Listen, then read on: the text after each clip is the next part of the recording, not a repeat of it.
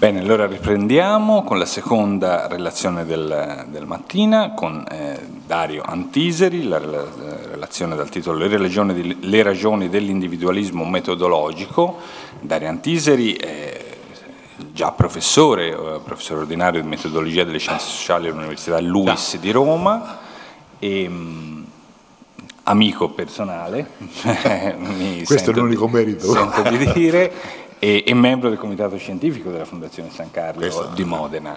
Prima di cedere eh, a Dario la, la parola, ehm, volevo eh, semplicemente eh, informarvi che per questioni di carattere organizzativo logistico le due, le due relazioni del pomeriggio saranno invertite, cioè la prima relazione sarà quella di Sebastiano Maffettone e successivamente per Paolo Portinaro che ringrazio anche per la sua disponibilità a aver eh, diciamo così, eh, consentito l'inversione delle relazioni proprio per questioni di carattere organizzativo. Bene, direi di passare subito la parola a Dario Antiseri così dopo eh, sviluppiamo la discussione e facciamo venire anche Massimo Mori. Al... Bene, grazie.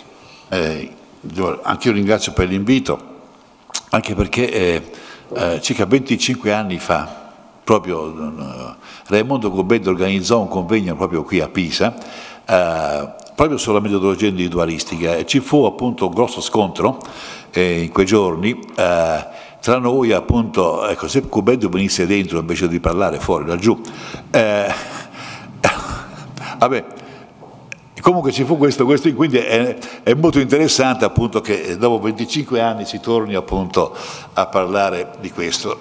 Stavo raccontando Raimondo Gobeddo che proprio 25 anni fa circa tu organizzasti un convegno sulla metodologia individualistica con un po' di italiani e un po' di stranieri e lì ci fu appunto l'incontro, lo scontro e Luciano Pellicani ricorda quell'incontro, quel convegno eh, in questo modo, dice in un libro che poi facciamo poi eh, insieme. La disputa teorica che il lettore si trova davanti fu occasionata, diciamo così, da un seminario epistemologico organizzato da Raimondo Cubedo a Pisa, durante il quale ebbi la sensazione di trovarmi in partibus infidelium, dice Luciano Pellicani. Non uno dei partecipanti, per lo più economisti e filosofi, manifestò il benché minimo dubbio sulla validità generale dell'approccio individualistico ai fenomeni sociali e così va avanti. In realtà poi eh, con Luciano, con il sono d'accordo in tanti, in tanti punti, su questo punto non eravamo d'accordo. Allora i ragazzi della Luce ci chiedevano chi aveva ragione, se aveva ragione Luciano aveva ragione io. E quindi cosa facevamo? Facemmo un libro in modo tale appunto che i ragazzi potessero vedere le ragioni degli uni e le ragioni degli altri. Bene, sono anche contento perché vedendo appunto nella, nel programma eh, c'è Paolo Portinaro il quale eh, parla della patologia dell'individualismo. Ora io, siccome vorrei fare un po' di psicologia, poi vediamo appunto ecco, l'incontro e lo scontro. Come diceva Whitehead, uno scontro tra idee non è un dramma, è un'opportunità. Bene, allora eh, io ho tanti appunti qua, ma poi leggerò qualcosa leggerò e poi dirò, però abbraccio, anche che sono un po' cimorrito come sentite. Allora, io non affronterò appunto il problema come hai fatto tu da un punto di vista di storia delle idee, ma da un punto di vista puramente epistemologico, cioè come si pone il problema dell'individualismo in campo epistemologico si pone in questo modo. Noi, sia eh, nelle scienze sociali, in storiografia, in economia, in campo del diritto, in campo della politologia, usiamo continuamente, traffichiamo con concetti come partito, classe, popolo, nazione, pubblica amministrazione e cose del genere. Bene, la domanda di fondo che ci si pone in epistemologia è la seguente, che cosa corrisponde nella effettiva realtà a questi concetti collettivi? Perché è evidente che se questi, se questi concetti, questo voi capite, è il vecchio problema filosofico degli universali, no? se questi concetti collettivi appunto corrispondono alle realtà effettive, sostanze effettive, è chiaro che l'individuo appunto scompare. C'è l'altra proposta invece che dice appunto che questi, questi, concetti collettivi, questi come diceva Weber, collettivi begrifi, sono semplicemente dei fiato della voce, sono puri nomi, sono appunto ecco, stenogrammi per individui e azioni di individui. Ora, chi sono questi? Alcuni vorrei proporvi alcune idee di questi individualisti. Comincio con eh, Karl Menger, eh, Karl Menger eh, il capo della scolastica d'economia, voi sapete, diciamo così, fondatore, la collettività come tale, dice Menger, non è un oggetto in grande che ha bisogni, lavora, traffica e concorre. Quella che si dice economia sociale non è quindi l'attività economica di una società nel senso proprio della parola. L'economia sociale non è un fenomeno analogo alle economie individuali, cui appartiene anche l'economia finanziaria, non è una cosa che si contrapponga o sussista accanto alle economie individuali. Nella sua forma fenomenica più generale, essa è una molteplicità tutta peculiare di economie individuali. Questo dicevo Menger. Eh, lascio altre cose e vengo ad un altro grande esponente appunto delle scienze sociali, a Max Weber.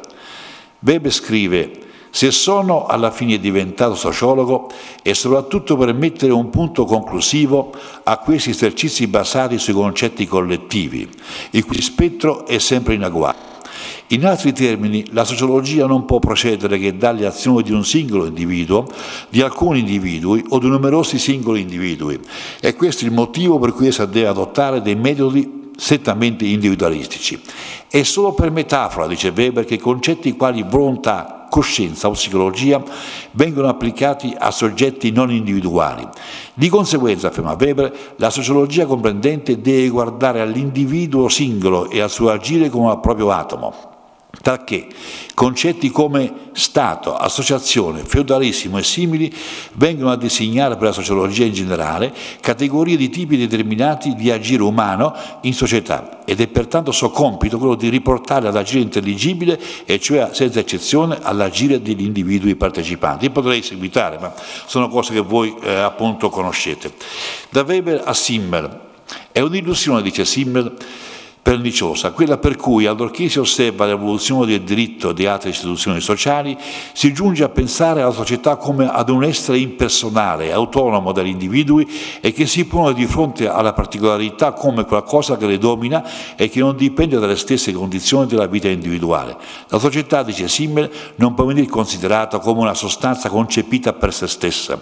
Senza individui, in interazione, non c'è nessuna società. E vengo a un allievo appunto di Menger, cioè a Ludwig von Mises. Il corso della storia, scrive Mises nell'azione umana, è determinato dalle azioni degli individui e dagli effetti di queste azioni. Per Mises solo l'individuo pensa, solo l'individuo ragiona, solo l'individuo agisce. Di conseguenza, gli afferma, per gli scopi della scienza noi dobbiamo partire dall'azione dell'individuo, poiché essa è la sola cosa della quale noi possiamo avere cognizione diretta.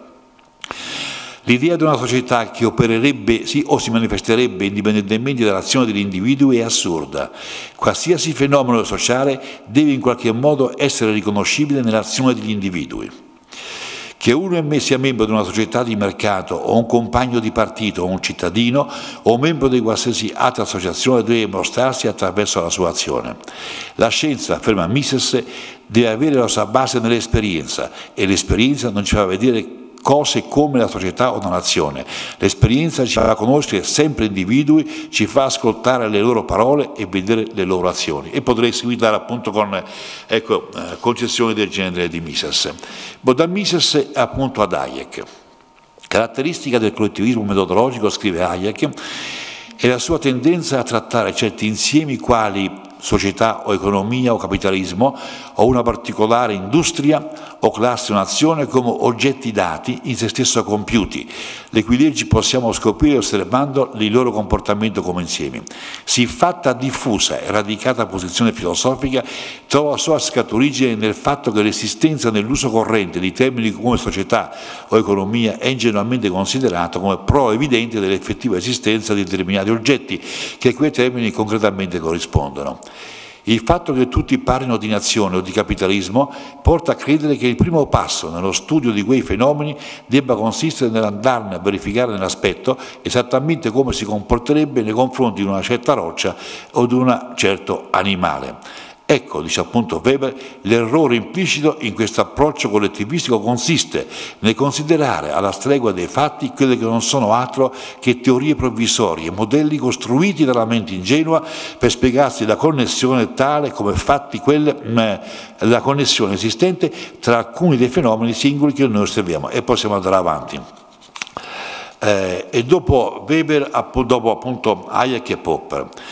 Nel primo volume della Società Aperta, pone l'attenzione dei lettori, ecco, Sebastiano, eh, sul secondo prospetto, dice individualismo si contrappone a collettivismo, ecco, individualismo si contrappone a collettivismo, egoismo si contrappone all'altruismo, quindi non è che l'individualismo si contrappone appunto all'altruismo, al collettivismo, quindi quella, ecco, sicuramente semantico che tu dicevi prima, ecco, si rivede qua, benissimo.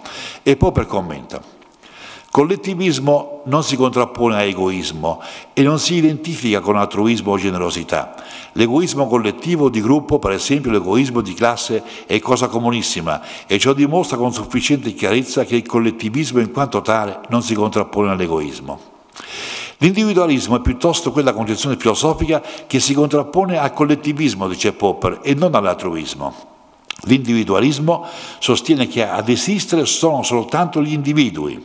Questi possono essere sia egoisti che altruisti, ciò che invece non esiste è la società, allorché la si concepisca come un'entità indipendente, precedente ed autonoma degli individui.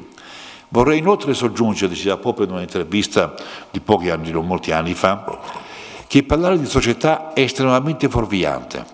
Naturalmente si può usare un concetto come la società o l'ordine sociale, ma non dobbiamo dimenticare che si tratta solo di concetti ausiliari, ciò che esiste veramente sono gli uomini, quelli buoni e quelli cattivi.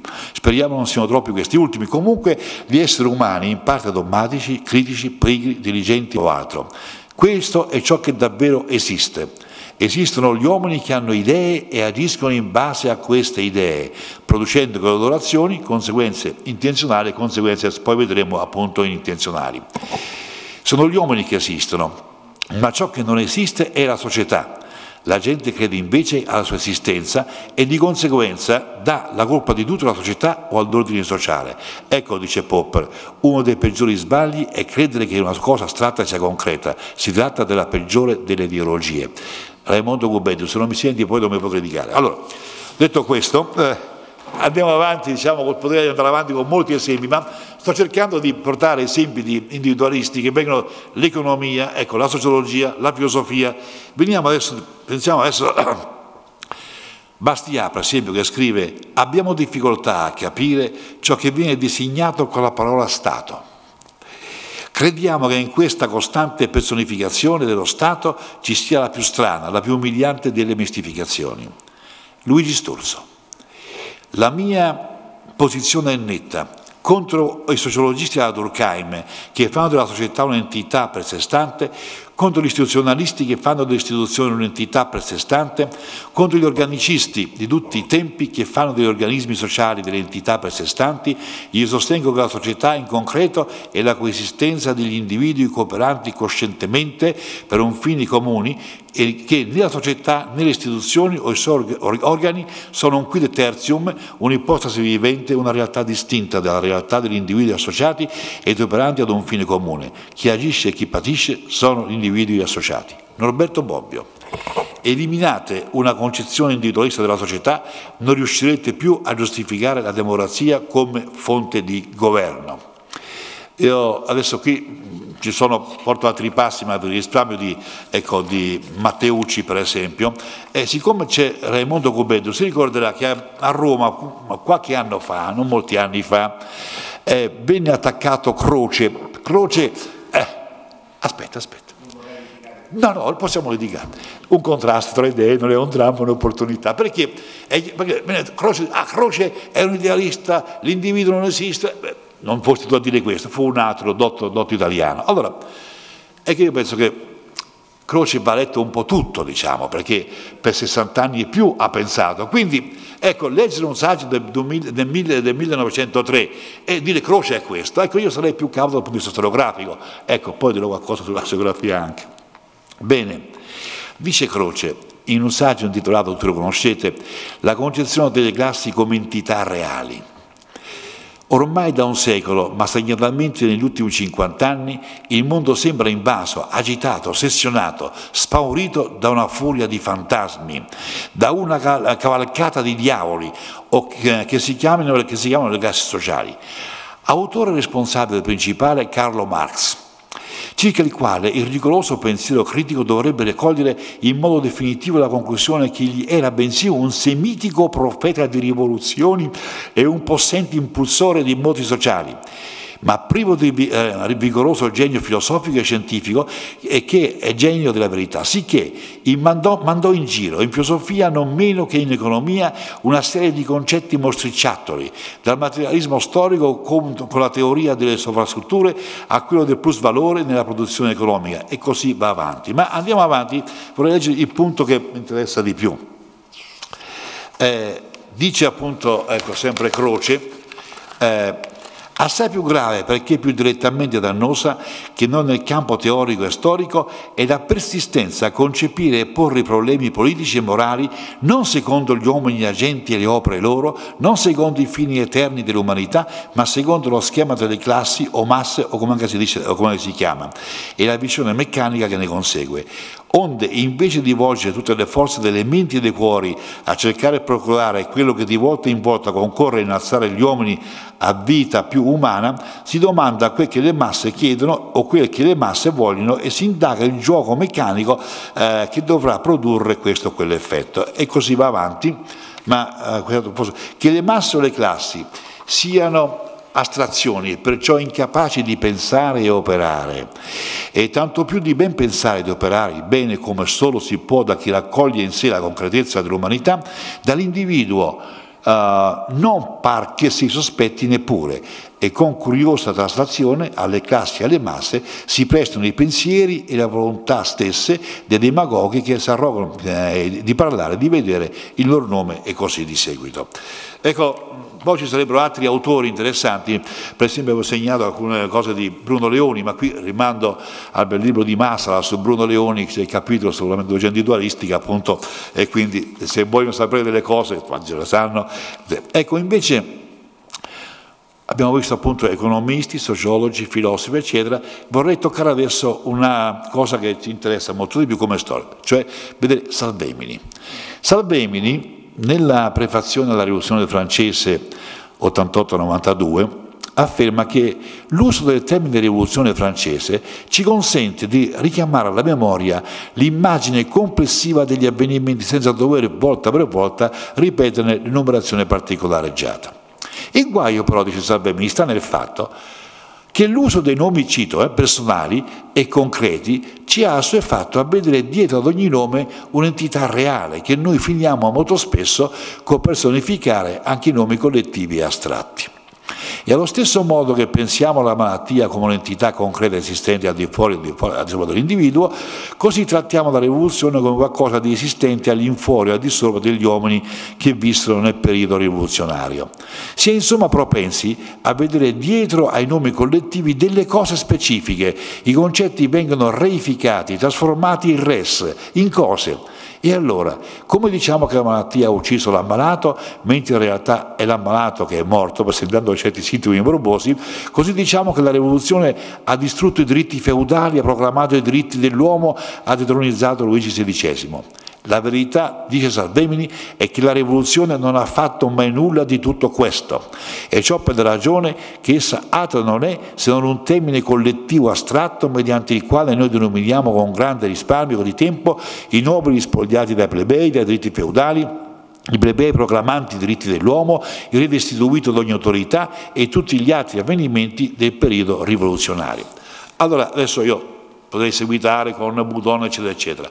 Tralascio appunto, tralascio, eh, ecco, quello che volevo dire è questo, che quando noi affrontiamo il problema eh, metodologico nelle scienze sociali, eh, ecco, c'è un problema, il primo problema è un problema ontologico, che cosa corrisponde nell'effettiva realtà a questi concetti che noi usiamo, con cui traffichiamo di continuo noi altri, guardate bene, nel diritto, in economia, nella storiografia, in politologia, nella vita quotidiana, diciamo, ecco, il problema è ontologico, che cosa corrisponde nell'effettiva realtà a questi concetti collettivi. Ora, questi notizi sostengono che a questi concetti collettivi non corrisponde assolutamente niente di specifico ecco, e di diverso dagli individui che compongono questi gruppi, diciamo così. Per cui non c'è il partito, ci sono alcune persone che hanno alcune idee date da altri e che agiscono in base a queste idee, diciamo così, e quello si chiama partito, diciamo così, no? Ma voi capite che se io dico c'è la Chiesa, il partito, il sindacato, eh, se io ti dico, eh, eh, guarda, eh, dico, guarda che il sindacato ti ha espulso, il partito ti ha espulso, la ragione di Stato, cioè in realtà non c'è, c'è la ragione di questo, l'altro individuo. Io sono abbastanza avanti negli anni. E una volta parlando con la Pira appunto, eravamo con Massimo Baldini, con amici con la Pira a Firenze, e noi l'accusavamo di essere statalista e lui disse, parla e poi disse, ah, dice, lo Stato etico, cos'è lo Stato etico? È uno stupido ministro che firma, disse appunto la pila, eravamo un gruppettino.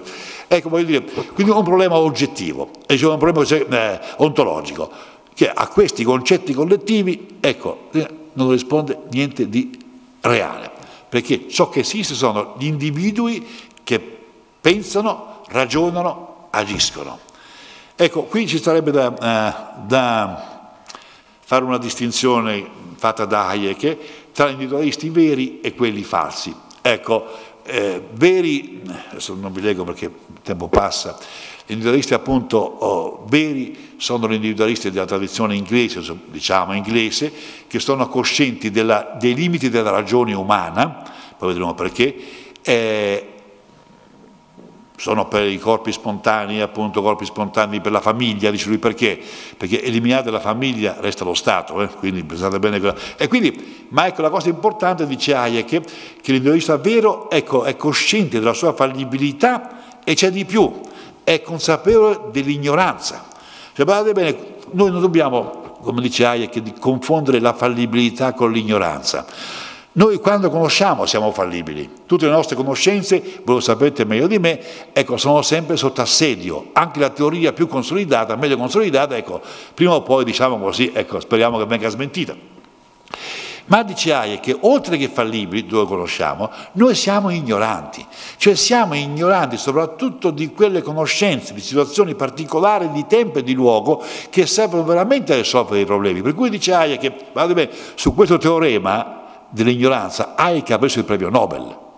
Perché qual è la ragione che porta lui? Lui dice esisterà, sarà migliore una società che potrà usufruire ecco, delle conoscenze, della conoscenza. Ora esistono queste conoscenze, ripeto, di situazioni particolari di tempo e di luogo che sono disperse necessariamente tra milioni e milioni di uomini, conoscenze all'istante non centralizzabili, e che possono essere usate soltanto se le decisioni vengono prese, diciamo così, ecco, localmente e non centralmente. Era un altro argomento contro la pianificazione centralizzata, diciamo, no? Quindi ecco questa distinzione. Ora vengo alla cosa che ci interessa forse di più, perché? Perché evidentemente se a esistere, pensare ed agire sono solo gli individui, ecco, vediamo cosa succede parlando di azione umana e quindi di interazione umana.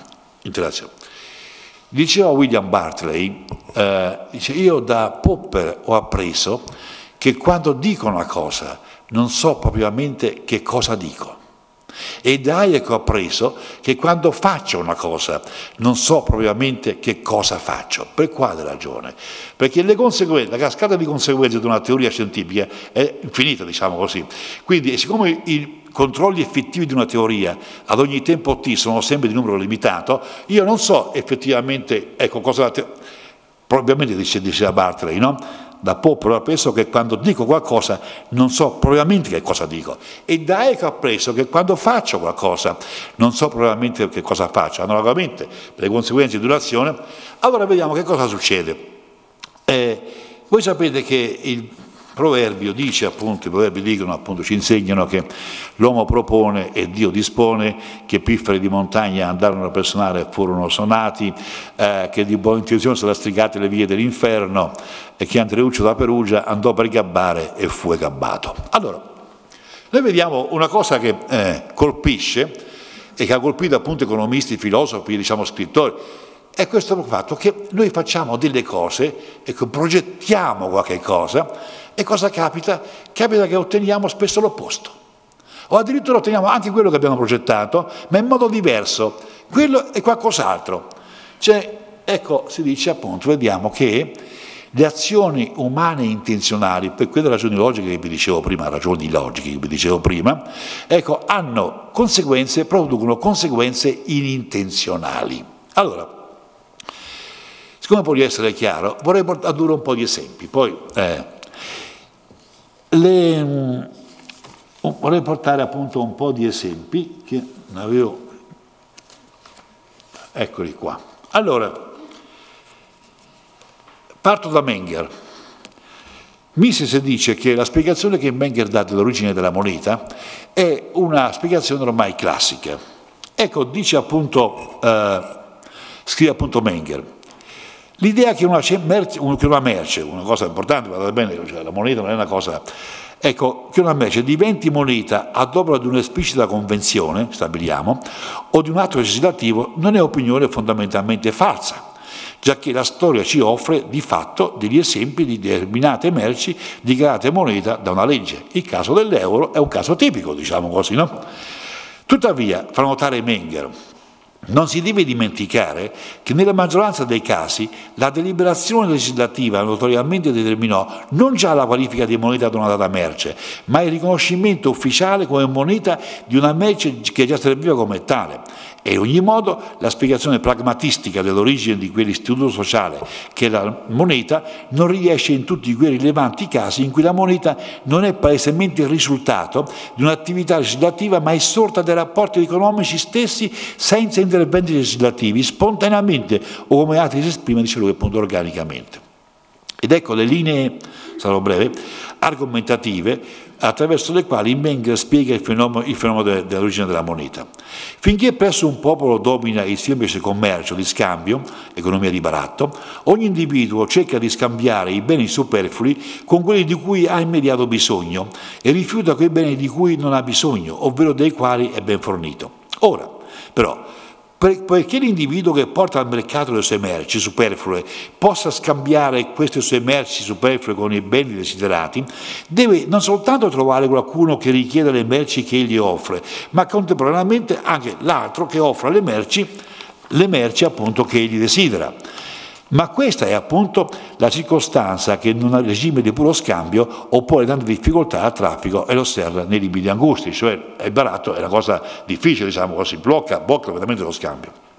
Ora, come avviene, eh, come ovviare, dice Menger, a siffatto inconveniente così dannoso allo scambio?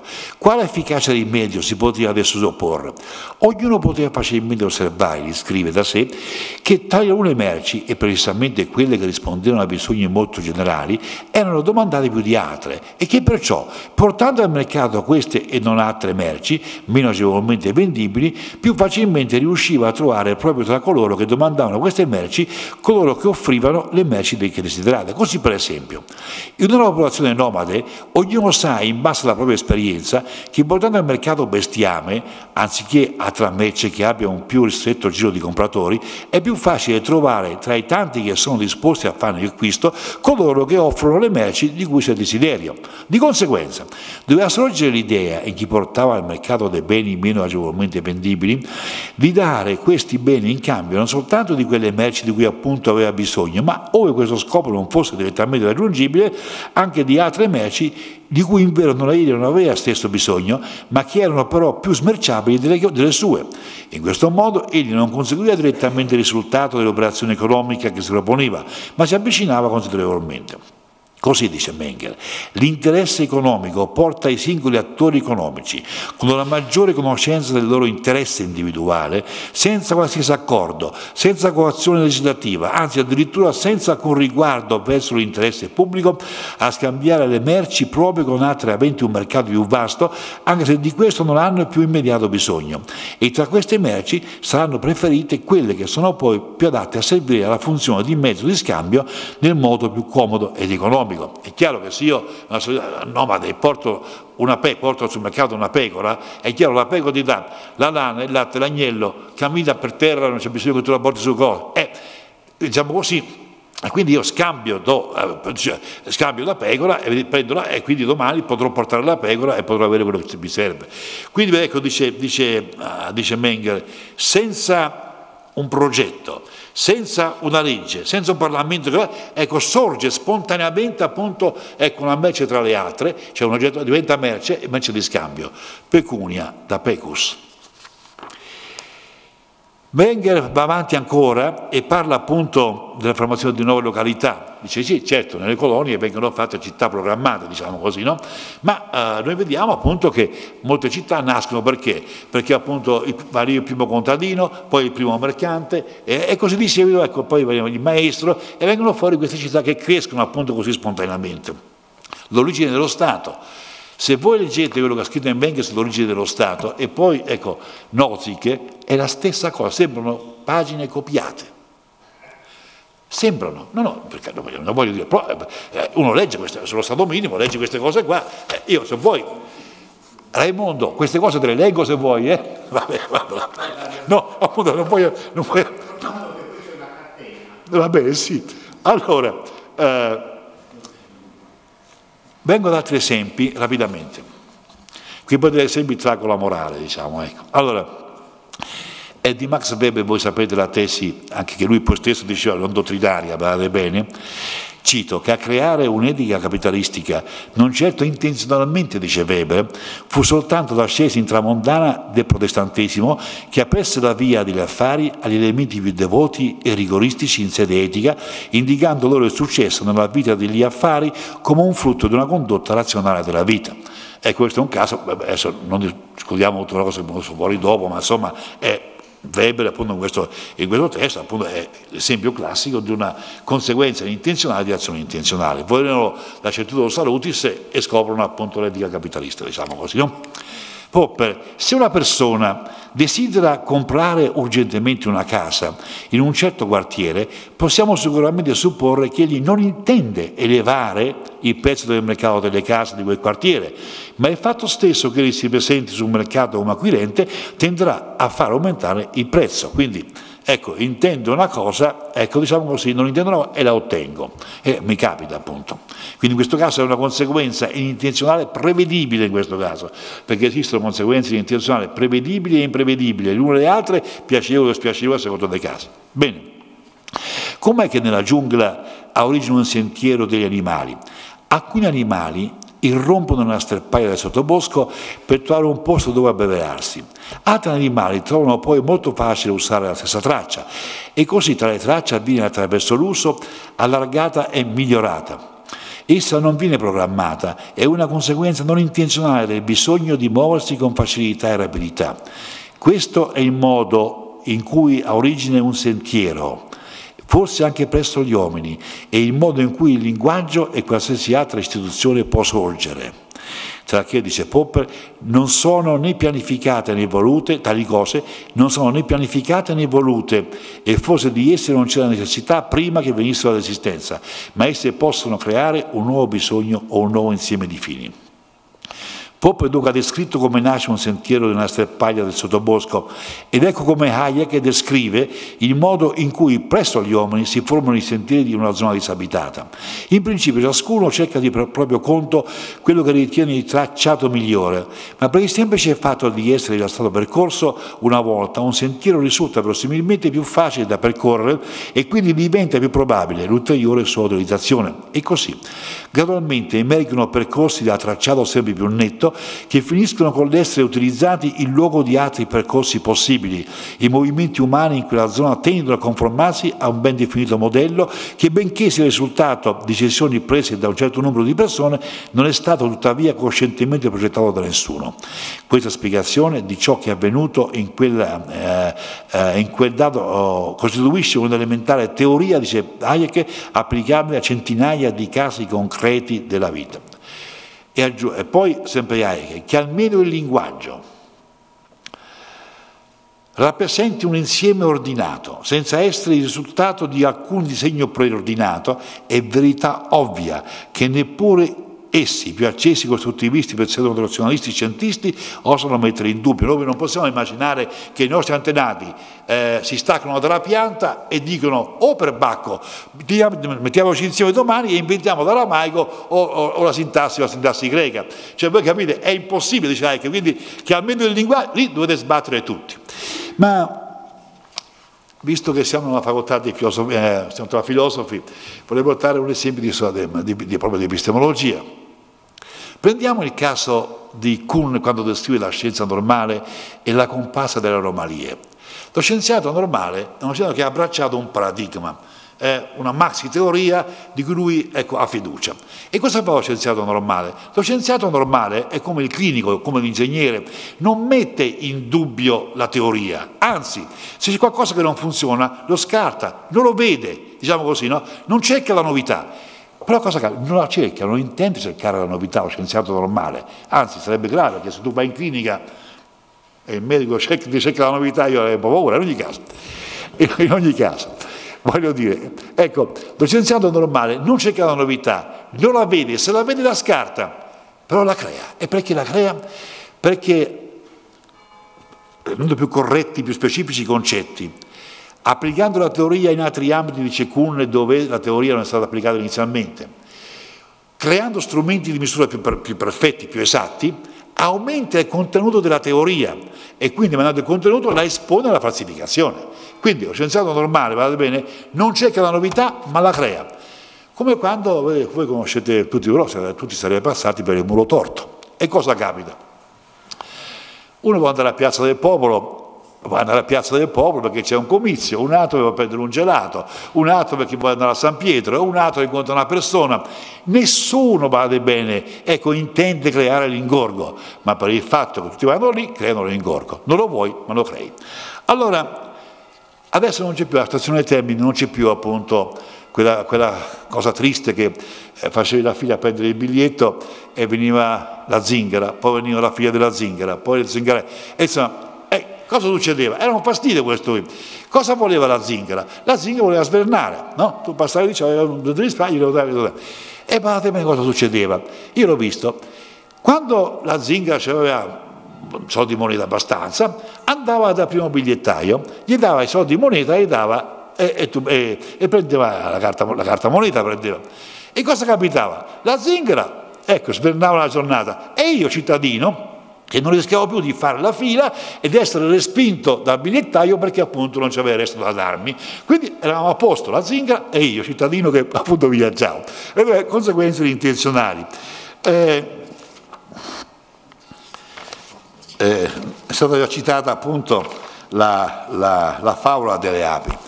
Ancora due o tre esempi, poi traggo la morale. Allora, quanto tempo mi dai ancora? Dieci minuti. Dieci minuti. Allora, storici, Machiavelli Dice Machiavelli, nel, nel primo libro dei discorsi sulla prima decada di Dolivio, io dico che coloro che danno i tumulti tra i nobili e la plebe, mi pare che biasimino quelle cose che furono prima causa del tenere libera Roma e che, e che considerano più ai rumori e alle grida che di tali tumulti nascevano che ai buoni effetti che quelli partorivano.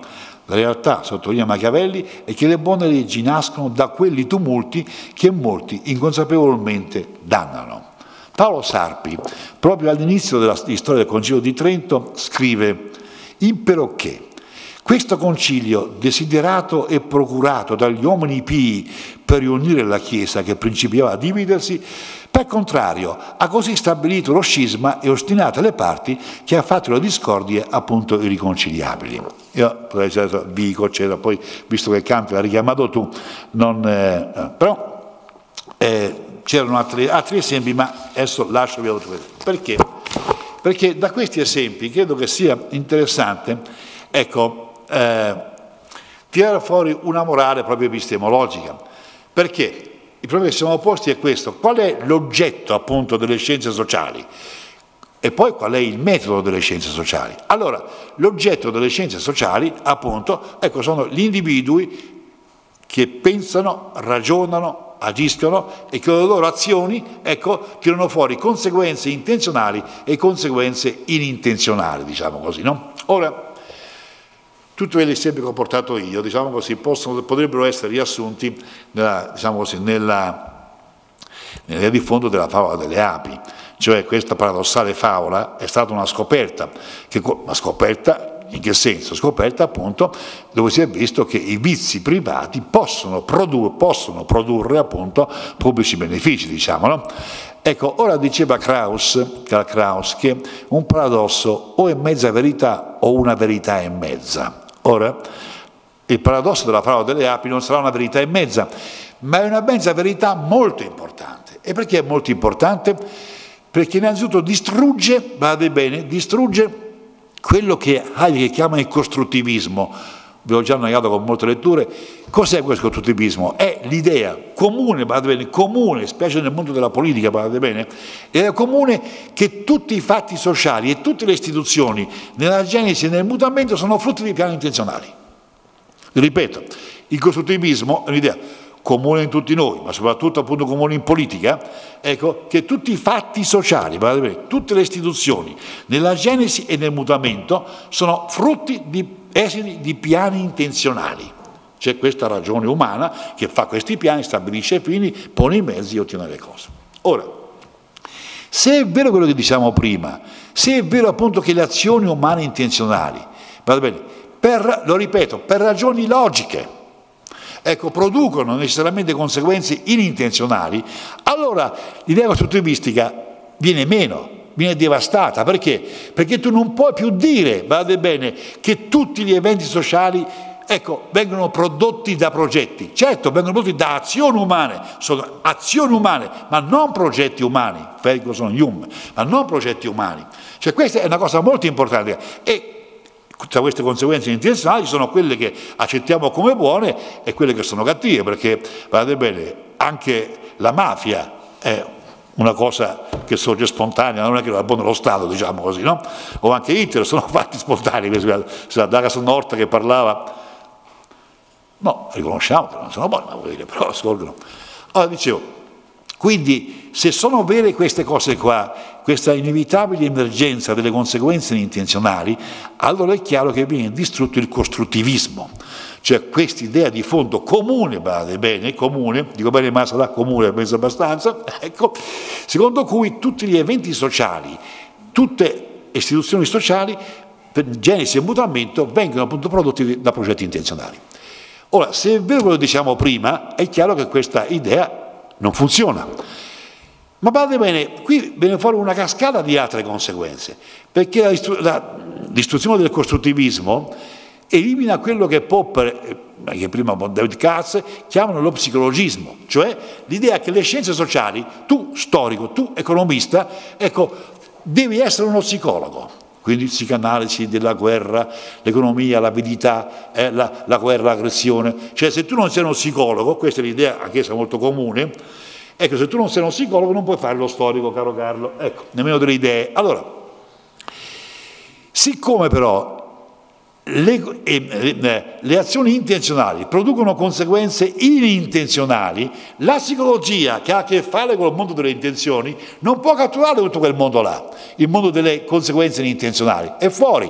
Quindi in questo caso, ecco, dicono questi autori austriaci, fonda, viene fondata l'autonomia delle scienze sociali, della storiografia e della sociologia, perché l'autonomia dalla psicologia. Quindi, distruzione del costruttivismo, inconsistenza del costruttivismo, contro lo psicologismo, ma viene fuori un'altra importante idea, perché voi sapete che c'è quella che si chiama la teoria, questa conspiracy theory, la teoria cospiratoria della società, cioè la teoria che siccome tutti gli eventi sociali sono frutto di piani intenzionali, allora è chiaro, se viene fuori qualcosa di cattivo, di brutto, una peste, eh, i monatti, è una pestilenza, devo dire, eh, una guerra, una, una, una, una, siccità, qualsiasi cosa di negativo, c'è qualcuno che ha congiurato. Perché è chiaro, se tutti gli eventi sociali sono frutto di piani intenzionali, gli eventi sociali negativi sono frutto di brutti cospiratori, no? Quindi se non saranno i saggi di Silvio, di, di non saranno i capitalisti, saranno altre volte i comunisti, saranno... Avete visto questi giorni dei giornali? Tutti i complotti. Voi aprite il giornale la mattina e se, eh, se, se quattro complotti sono indicati, i quattro complotti, quello che si chiama, no, che guardano questo, la dietrologia, diciamo così. Ora è chiaro che le cospirazioni ci sono state, ci sono, ci saranno, ma non tutti gli eventi sociali negativi sono frutto di cospirazioni. Questo credo che sia, ecco, non so quanto devo mi dare. Allora, se tutte queste cose, allora, qual è il compito dello scienziato sociale, secondo Popper, Mengele e altri? Cioè, ecco, è l'analisi Merton da sé ha fatto quel famoso articolo sulle conseguenze non anticipate, no? è l'analisi, dicono questi signori qua, delle conseguenze inintenzionali dell'azione umana intenzionale. E Hayek che dice che l'analisi delle conseguenze inintenzionali dell'azione umana intenzionale è il compito esclusivo delle scienze sociali. Allora, io ci sono, ci sono altre cose da dire, ma non voglio prendere molto più tempo, però una cosa mi permetterei di dirlo, perché se queste cose qua che eh, eh, tiriamo fuori da questa tradizione di pensiero individualistico, diciamo, eh, credo che sia una cosa molto importante perché ridà sangue empirico alle scienze sociali ridà sangue empirico alle scienze sociali. Questa è la cosa importante, perché sai, trasfoldarsi lì con eh, la storiografia delle grandi epoche, eh, l'età della metafisica, quella scientifica, eh, progresso, cioè, Saint-Simon, Conte, Marx, così, strutturalisti, cioè, cioè, io credo che sia veramente, per carità sono cose interessantissime, si può apprendere, eh, però voglio dire, è qui è una specie di mitologia, insomma, eh, non è una cosa... Allora vi dicevo, perché questo credo io che sia, eh, che sia una cosa importante? Io sono abbastanza avanti negli anni e ho partecipato anche a battaglie, problemi, non so, ho conosciuto illustri storici, illustri, bravi storici, i quali durante la battaglia sul problema dei libri di storia hanno sostenuto che la storiografia non può essere scienza. Eh, io spero che voi, eh, se dirigiamo di prima, perché guardate, la storiografia non può essere scienza. E poi c'è questo problema grosso tra le due culture, tra le due culture. Ecco, allora, per cui con conseguenze gravissime, badate bene, nella didattica, perché bisogna insegnare le scienze, le scienze sì, e poi ci sono queste discipline umanistiche, sì, la storia, dell'arte, filosofia, eccetera, questa è roba ornamentale, diciamo così, no? questo ornamentale con ripercussioni gravissime sulla scuola. Ora io eh, vorrei vedere questo discorso sull'individualismo metodologico dal punto di vista epistemologico, credo che sia un contributo a quello che è veramente l'unità del metodo scientifico, cioè dobbiamo essere convinti, ormai io credo che abbiamo molti argomenti ed è una cosa che io sono disposto oggi a difendere questa idea qua, cioè quando noi facciamo ricerca scientifica, voi giovani fate la vostra tesi, dottorato, cioè, quando, quando la ricerca scientifica consiste sempre nel tentativo di risolvere qualche problema. Ricerca, ricerca di soluzione di problemi, diciamo così. Questo vale per la per l'economia, la fisica, la biologia, eccetera. E per risolvere i problemi non possiamo fare altro, semplificare le cose, che inventare dei mondi possibili, delle congetture da mettere a prova. E quando noi proviamo una teoria non possiamo fare altro che, eh, diciamo, che la prova nella vita come nella scienza sia dove si rischia, dove si rischia di fare fallimento. Per cui, ecco, problemi, congetture, tentativi di falsificazione di una teoria. E voi capite che prima noi scopriamo un errore e prima appunto la comunità scientifica è posta nell'urgenza di inventare e mettere a prova una teoria migliore. Perché, diceva Popper, che evitare l'errore è un ideale meschino. Se noi ci confrontiamo con un problema difficile è facile che sbaglieremo. La cosa importante è apprendere dai nostri errori. Tra che, ancora Popper, razionale non è un uomo che vuole avere ragione, ma un uomo che vuole imparare, imparare dai propri errori e da quelli altrui. Allora voi mi dite, adesso come si fa, dico io, a sostenere che discipline umanistiche, dopo quello che che è stato fatto da, da Gadamer, ma da filologi che hanno scritto di epistemologia come Hermann Frenkel, Paul Maas o Giorgio Pasquali, no? o quello che ha scritto appunto Salvemini contro Croce sulla storia come scienza, come si fa a dire che queste discipline appunto umanistiche, diciamo così, ecco, non sono scienza o sono cose ornamentali? Eh, eh, prima diciamo, prendendo qua in corridoio, anche ultimamente, diciamo così, anche pochi giorni fa è stato detto che la filosofia non deve essere insegnata nei corsi di laurea e scienze della formazione, deve essere diminuita nei licei.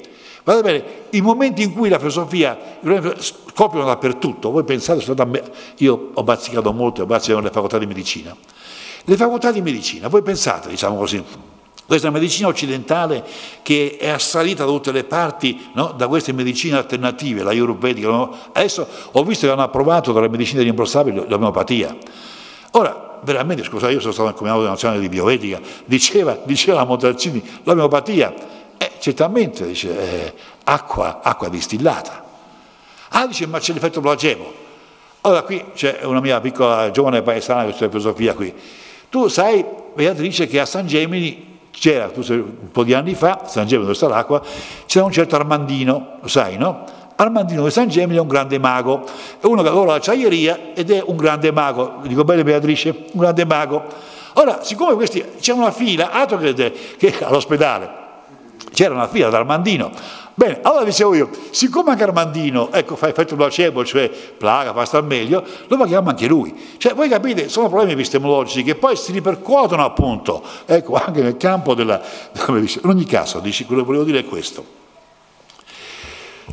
Noi oggi, dopo, dopo quello che è successo con, eh, di letteratura, dopo il famoso articolo di Hempel sulla funzione generale della storiografia, dopo quello che hanno fatto appunto i filologi, dopo quello che hanno fatto gli storici dell'Annal e, e, dopo quello che ha fatto Gadamer, noi dobbiamo essere orgogliosi del fatto, guardate bene, che le discipline umanistiche sono discipline tali e quali la fisica.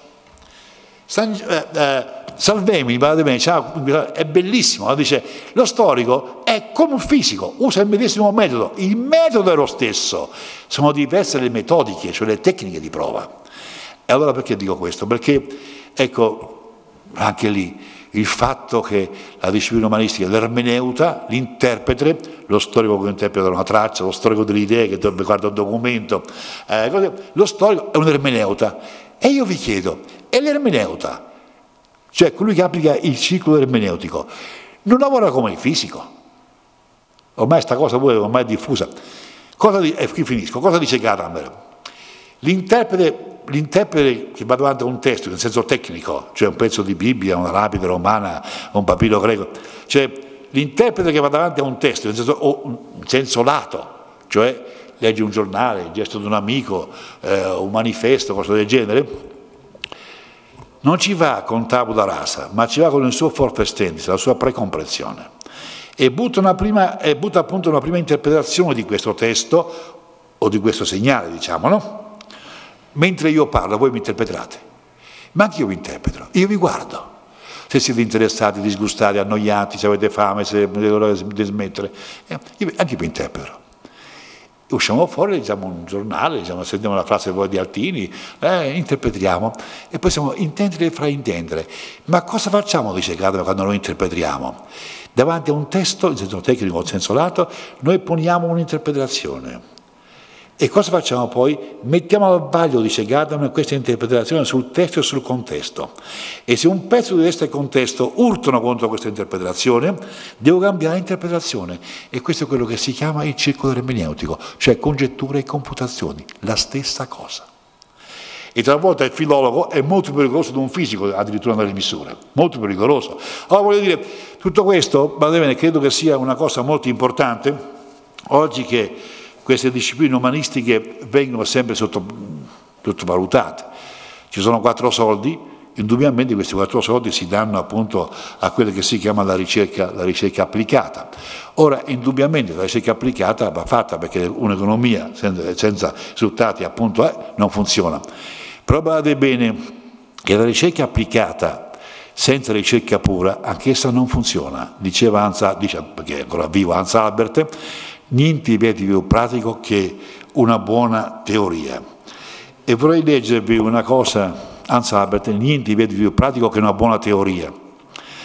Guardate bene, nel 1854, sono ancora due minuti, sì, due minuti, sì, Pasteur tenne il discorso inaugurale quale decano della nuova facoltà di scienza di Lille e rivolgendosi a un corpo di studenti, figli di industriali, guardate bene, ecco, Sebastiano, il discorso che si faceva stamattina, figli di industriali, disse, senza una teoria, disse Pasteur, la pratica è solo routine generata dall'abitudine.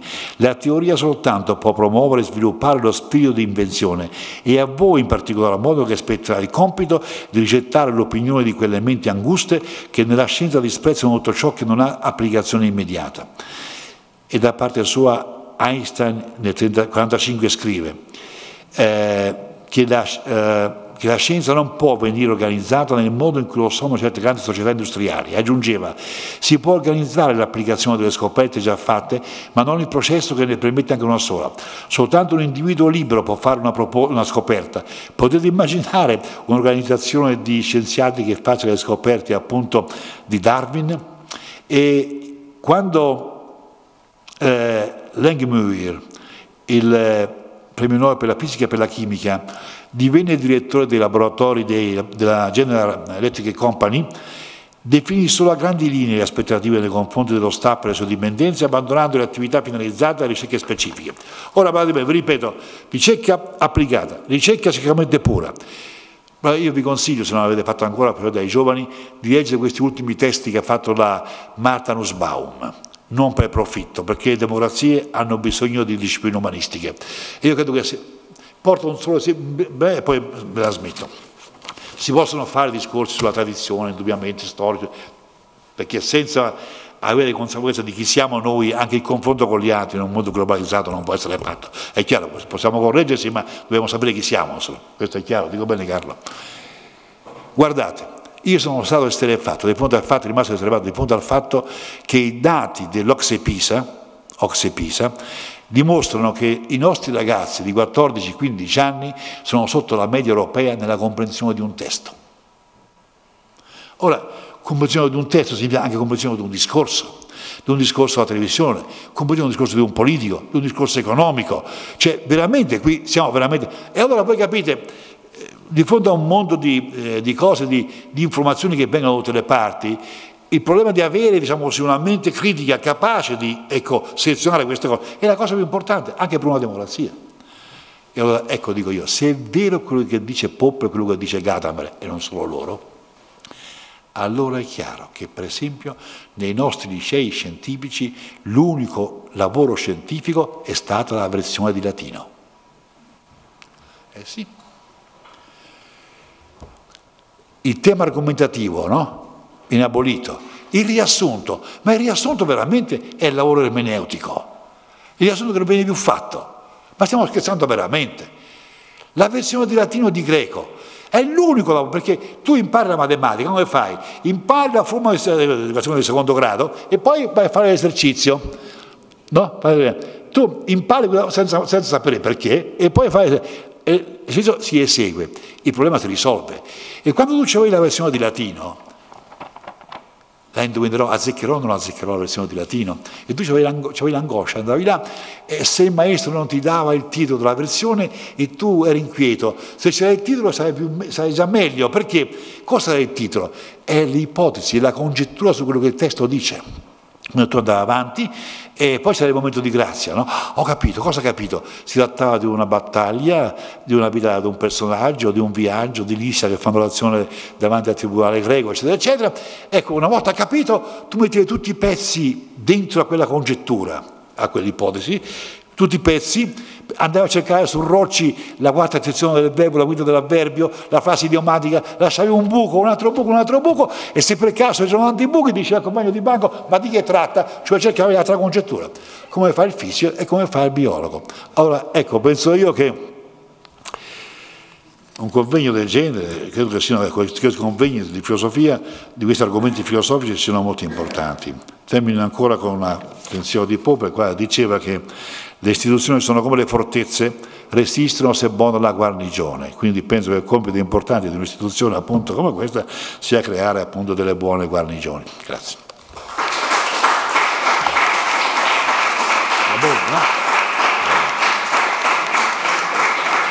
Ah.